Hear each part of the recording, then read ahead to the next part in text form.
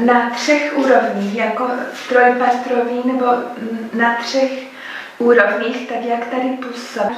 Je to lidmi na zemi, ne, za jejich magickými nebo černomagickými, v jejich magických nebo černomagických praktikách, anebo tedy těmi útočníky z vesmíru. Tady toto je ta úroveň, na které on se projevuje té naší periodické tabulce, v těch svých prvcích, které mají souvislost s naší periodickou tabulkou.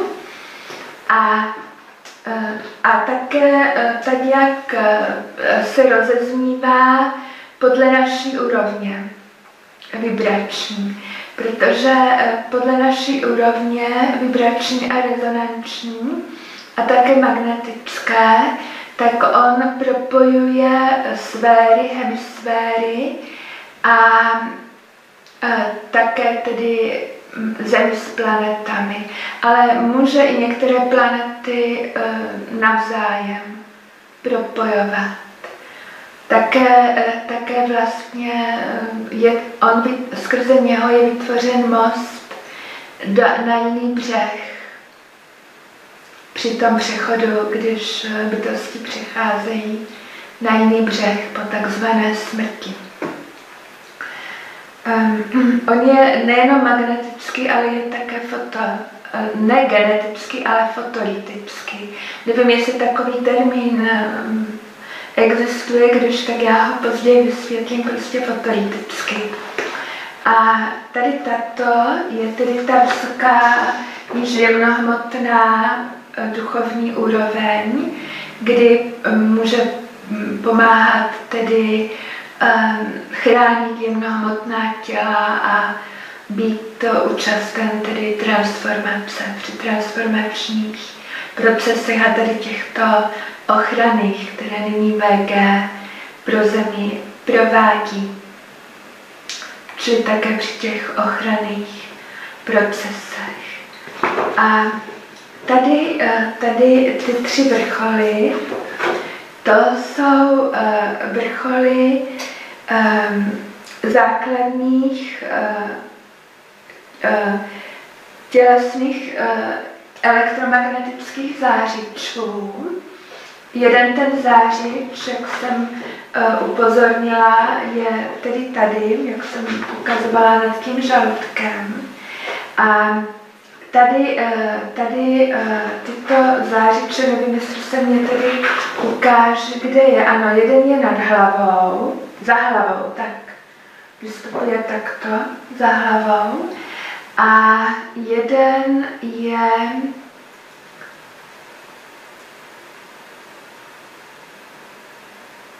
No, to asi mě tedy nikdo nebude věřit, nevím, jestli to vůbec můžu říct. Um, um, a te, ten zářič je v podstatě nějak tak zhruba asi nad pankreasem, že, který jsem ukazovala. A ten pankreas je mírně, mír, mírně posunutý. A tady, tady tento zářič, on je uh, Mm, prostě nějak tak od té kostrče až po chodidla vzadu, za, eh, eh, ze zadu v zadní části těla.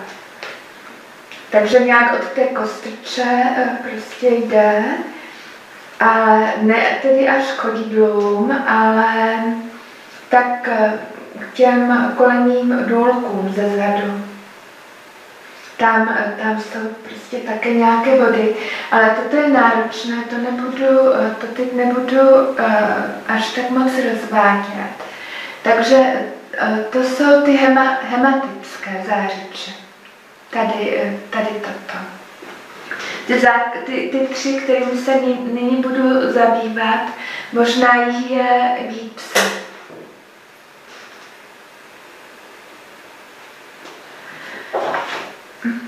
To, co se eh, děje, já jenom vypnu to plnění, mě to ruší, já se tady musím přitápět, mě střídavě horko zima.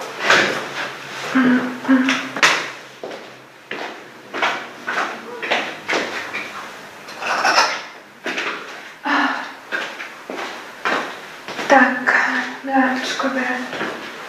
Takže um,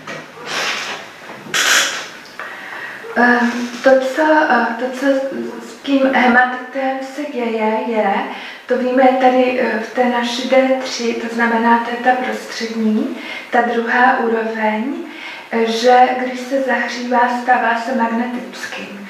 A toho využívají i ti útočníci uh, z vesmíru že tedy se stává magnetickým. A i tady v té naší D3 on dokáže uh, měnit informační pole.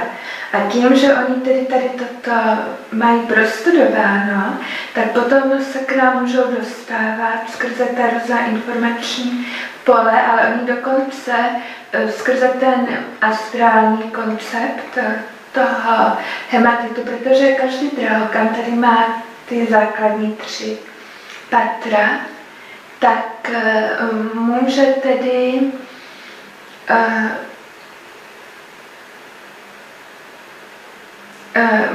může tedy uh, ta informační pole i rušit, která máme a, a dělat nová. O to oni se pokoušejí. Ta ochrana je, takže se jim to zatím nepodařilo, ale pokoušejí se o to. Což prostě oni by mohli úplně změnit vědomí lidí, ale um, jistě jste si všimli, jak lidé začínají být agresivní celosvětově a jaké jsou zmatky velké.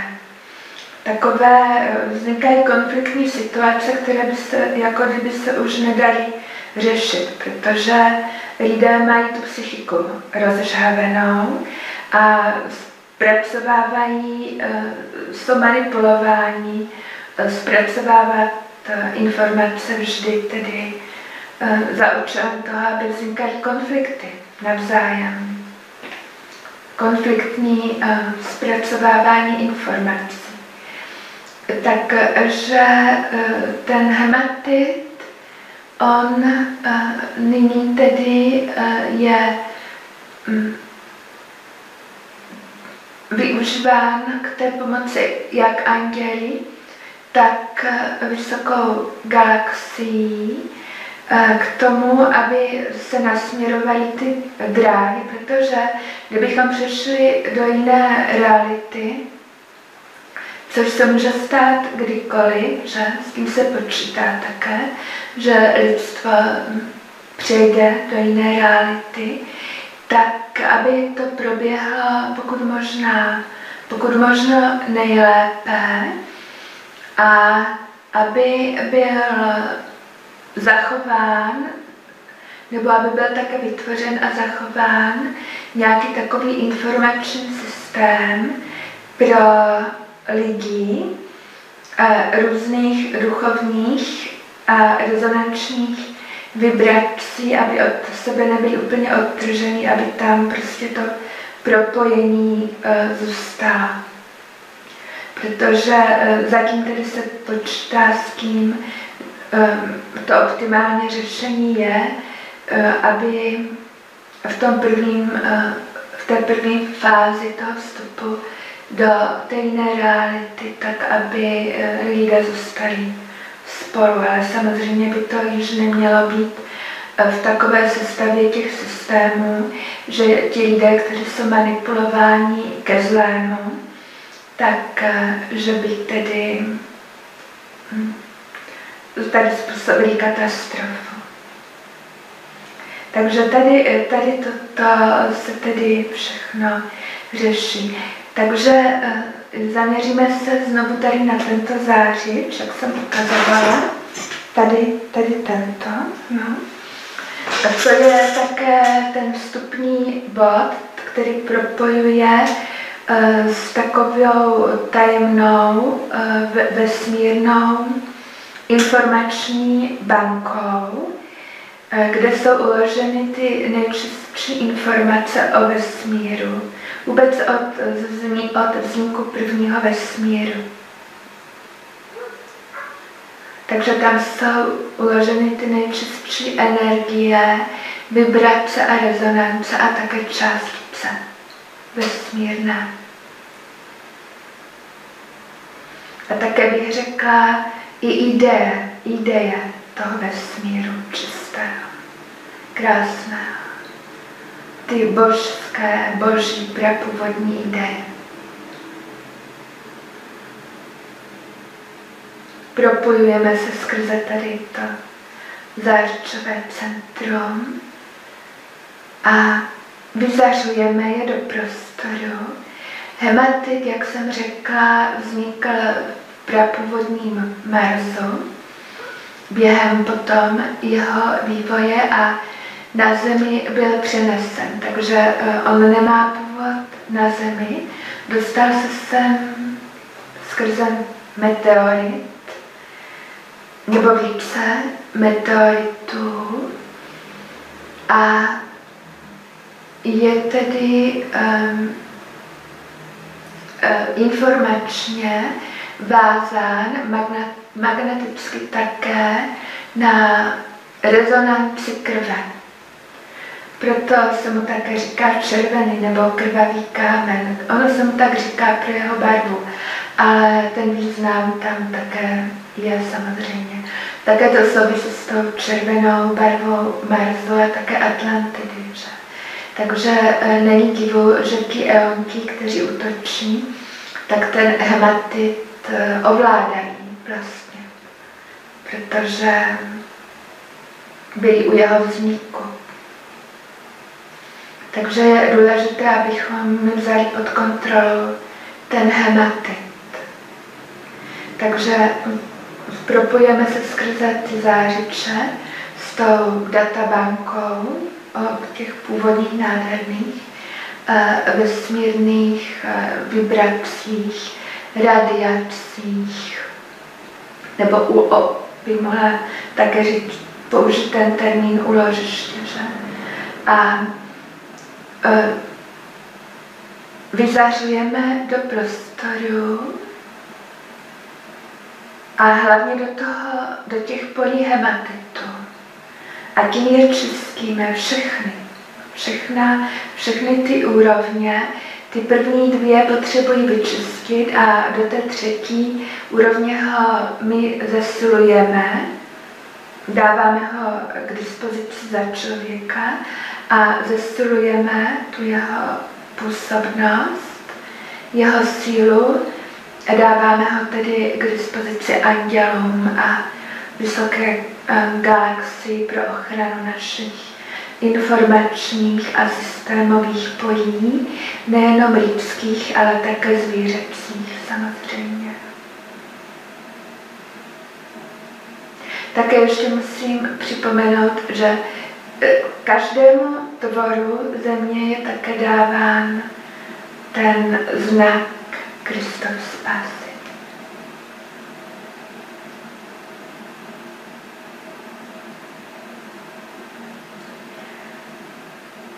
A takto uh, již uh, pročištěný a prozářený hematit uh, již vyzařuje k Marsu a tam pročišťuje ten hematit, protože na Marsu je hematit samozřejmě. Takže tam na Marsu ten hematit tady eh, je pročišťován skrze ten zemský hematit. A tím pročišťováním a posilováním duchovním toho hematitu eh, a tím tedy těmi nádhernými uh, vysokými kosmickými a angelskými rezonancemi a také, když to jde tedy přes um,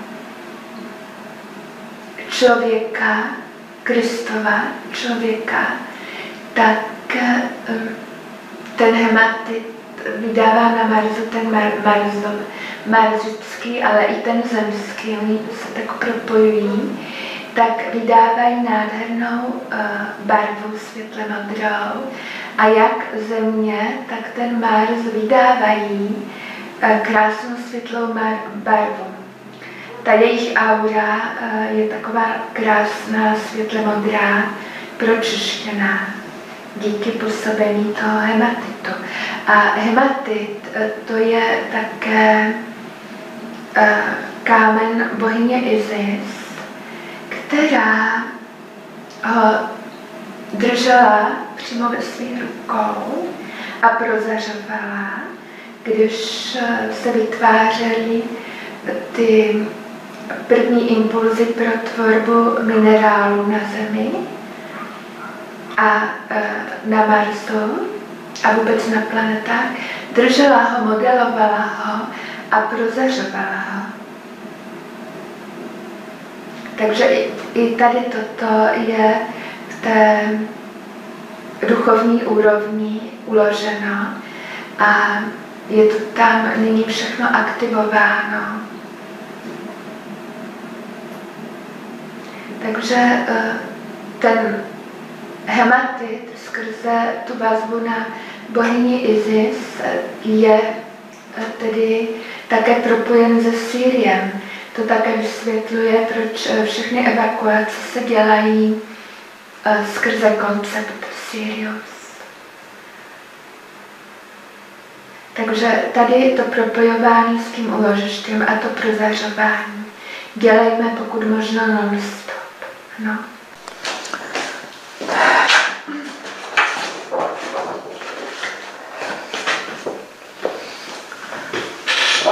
Takže ten, eh, ten eh, hematit má schopnost kontaktovat sféry.